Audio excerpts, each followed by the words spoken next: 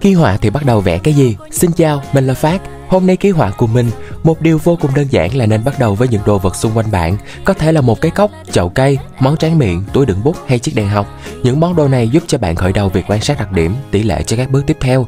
Bạn không cần vẽ trên khổ giấy quá to, tuy nhiên cũng không nên quá nhỏ, nên là một quyển sổ để tập hợp các quá trình và sự tiến bộ của bạn từng ngày. Khi đã thuần thục với những đối tượng này, bạn có thể tìm đến các chủ thể nhiều chi tiết hơn như góc nhà, một chiếc xe đạp hay khu vườn nhỏ của bạn. Khởi đầu với những thứ gần gũi khiến cho bạn yêu thích sẽ làm cho kỹ năng được gia tăng hơn nhiều đó nha.